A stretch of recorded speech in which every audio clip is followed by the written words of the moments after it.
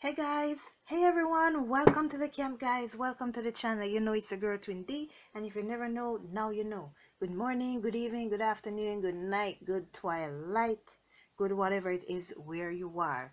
Let's jump straight into your message. This is gonna be messages from your guides. Let's see what they have to say to us today. Our Father who art in heaven, hallowed be thy name, thy kingdom come, thine will be done on earth as it is in heaven. Give us this day our daily bread and forgive us our trespasses, as we forgive those who trespass against us. And lead us not into temptation, but deliver us from evil. For thine is the kingdom, the power, and the glory, forever and ever. Amen. Alright, guys, let's see what our guys have to say to us. Let's see what our situation is. Then we'll be looking at the energy surrounding our situation, and then we'll get the advice all right. All right angels and guides what our what is our situation please? What is our situation right now please father god? Okay. Three cards fell out. You got this could be the one you've already met the romantic partner you seek. Romantic feelings your feelings are real and worth exploring and you have flirt extend your light-hearted energy to others. So what i'm getting from this is that there are some of us out there who are doubting the connection who are doubting this person who truly loves you. You have already met the romantic partner that you seek. There is some of us here who are it's like we're feeling like our situation it's never gonna work out it's never gonna come to be. It's never gonna happen. And that's your first mistake right there. Doubting. Thinking that it will not happen. Thinking it will never happen. What you need to do is trust that what god says is what he means. And it's what's gonna happen. The feelings that you're feeling. These feelings are real the love that you're feeling for this person, they are real. And I'll be doing the Divine Masculines reading on their channel. So you can go and see what their message is like later. On their channel, uh, Womanual. You can go to my page and you can see my channels. I have it there. You know but you're being told to extend that light-hearted energy to others. So it's like the energy that you're feeling the love that you're feeling give it to others. And it's not only this person that you're in love with. Pass that love to every single person that you meet every single person that you speak with every single person in your life. Because you are at a point where you are ready for the love of your life where you are ready to welcome this person that truly loves you and you will truly love this person. Your prayers, affirmations, and visualizations help bring you together. So, this is what you've been praying for. This is what you've been looking for. This is what you've been manifesting. Someone who can truly love you. This person is in your life. This person is in your life, and I'm getting that this doesn't even pertain to twin flames alone. Anybody. Anybody who has been having that feeling like how much they love this person and it's like they cannot understand why.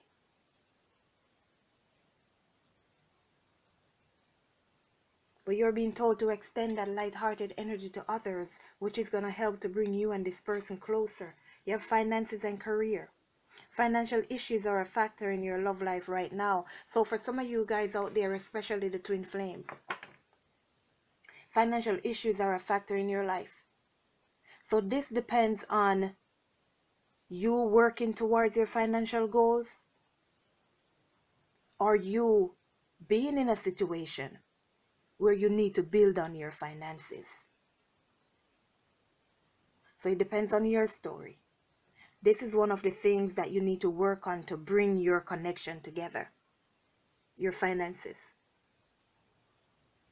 Whether it's finding the right job, finding a different job, starting your own business, whatever it is, but make sure you are financially stable. Because twin flames, God's servants, God's people, they are self sufficient. They don't depend on anybody but God. And this is what you are supposed to be doing. So you see that that's a factor in your love life right now. And healing family issues. Your love life benefits as you forgive your parents. So there are some of us here who definitely have issues with our parents, things of the past, things that we need to let go. And this is an area where you need to extend that light-hearted energy to others. That love that you're feeling is not for you to keep on the inside. It's not for you to, to just keep it for yourself. It's for you to extend it to others. It's for you to give love and show love. Be love. And that is that trigger that's gonna pull your connection back together.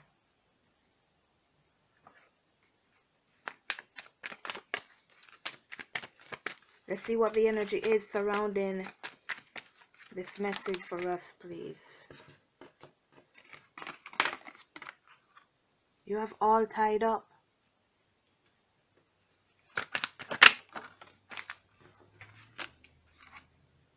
Healer of the ages. So there's definitely some things here that we need to heal. Yeah. There are things that we need to walk away from. There are things that we need to heal from. The past mostly. Things that may have happened to us, things may have, that may have happened between us and our parents. These are things that we need to let it go. These are the things that are keeping us stuck. These are the things that are keeping us from experiencing that love, from bringing our true love towards us. Because this person can go about their business anytime they want. It's like a self-imposed prison, uh, tied up, tying up themselves. Like, I'm not going to allow myself to move from this path. I'm not going to allow myself to change. I'm not going to allow myself to heal. But that love that you're feeling is to allow you to heal.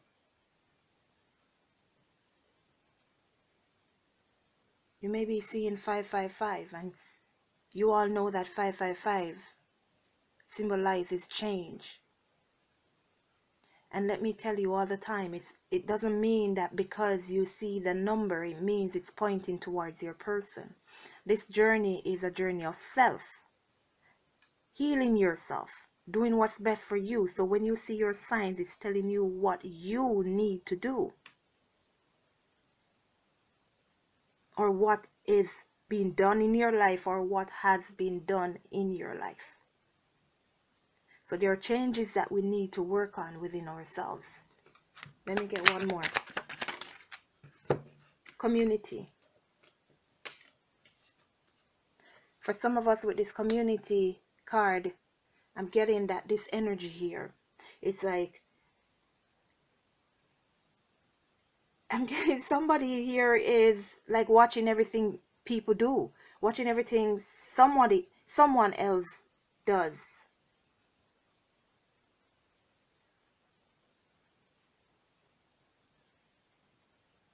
what I'm getting is, is kind of like totally different from, from the message. But somebody here needs to know that you need to stop paying attention to what others think or feel about you and move on in love. You have your spirit guides that are there to help you. You have your guides, you have your angels, you have God. They're all surrounding you, ready to help you someone need to work on the way that they communicate with others. Someone needs to work on the way they express themselves the way they show love the fourth chakra. We are to understand that when you love someone or you love something you should be able to release it you should be able to let it go so that it is free when you're able to do that, then you can truly say that you love someone or you love something. But when you hang on to it and you don't want to let it go because you're scared of losing it, that's obsession. You say you love it, but why don't you want it to be free? Why don't you want it to go and express its own self, find its own self, do its own thing? Why do you want to keep it locked up? Why do you want to keep it where you are? Is it so that nobody else has it? Is it so that you're the only one that can have it?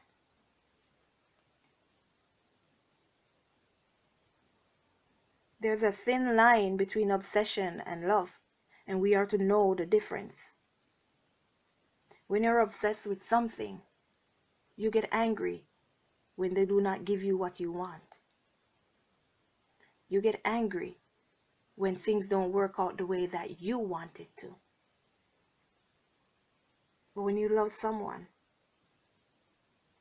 when things don't work out the way that you want it to, you try and understand. You try and see things from the perspective of the other person. You release them so that they are free to do what they want. Because if they truly love you, they will definitely come back around.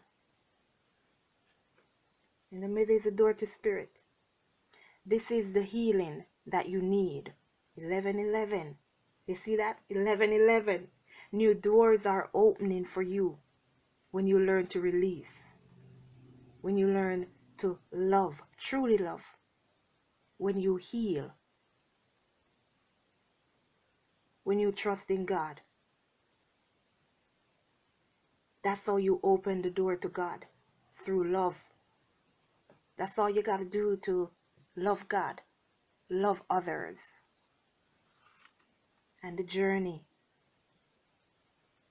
You're on this journey, you're on this path. And it's a path to healing, to changing, to welcoming God into your heart. But we have those attachments that are holding us back. And we are holding others back, forcing them to be attached. Look, I spit it again forcing them to be attached to us. We don't want to let them go. You got to let them go, guys. That's how you show love. That's how you show love. Just know that this person is definitely the one for you, so there's nothing to be scared about. Don't hang on to those romantic feelings. Don't hang on to that person because you feel like yes yes yes they're the one so i can't let them go. They're gonna they, they're gonna walk away from me. That's when you let them go. When you see that someone is not happy when you see that they're not in their right place when you see that they cannot give you back the love that you deserve you let them go. What's your advice for us divine feminines please? Because you can't because you can't see it doesn't mean it's not there. This is my work on me, Twin Flame Oracle. When you want to know what you need to work on for yourself, you get this deck. Take that leap of faith. There you go. You got to trust in God. Take that leap of faith. Release this person. Release them. Because you can't picture this person with you if you let them go. Because when they're not there, you can't see them. It doesn't mean that they're not coming back. It's a promise to you. So all you got to do is trust in God. Walk away from disrespect. Disrespect is not acceptable. There are definitely some of us who are hanging on to people who mistreat us, abuse us, and some of us, we use the twin flame journey, the twin flame connection as an excuse. Oh, this person is my twin flame. I'm not going to let them go. But they treat me like shit. They ignore me. They block me. They say they don't want to talk to me. Oh, but I'm still holding on. Have some respect for yourself. Have some respect for yourself. And if this person is truly for you, they will realize their wrongdoings when you're not around. And that's the only time people miss you when you're not around. And they will see the errors of their ways. And if they're for you, they will definitely come back. How can you be holding on to someone who is abusing you and you call it love? This just goes to show you that there are things of our past that we need to heal. You cannot be holding on to someone who is abusing you. Do you like pain that much? Do you like to be abused? Is like is this something like you you you hope to achieve? Is this your dream? To be with someone who hurts your feelings every single day? This is the point I got to when I really, really, really let go. I realized that I needed to respect myself. And in respecting myself, I am loving me. I am doing what's best for me.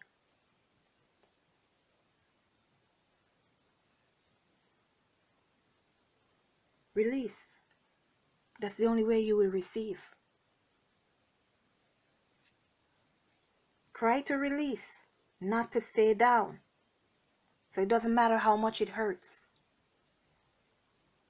Let go. It will hurt even more when you try to hang on. You, you, you ever been in a tug, tug, tug of war match? Especially when you were children. And they're pulling the rope, they're pulling the rope and you're holding on to it, holding on to it. And because you don't want to lose you're still hanging on to it but they're pulling you down and the middle of your hand it's burning it's burning it's burning. But i'm not letting go because i do not want to lose. Until eventually the rope is ripped from your hand. And it hurts even worse than if you had let go when you first started to feel that burn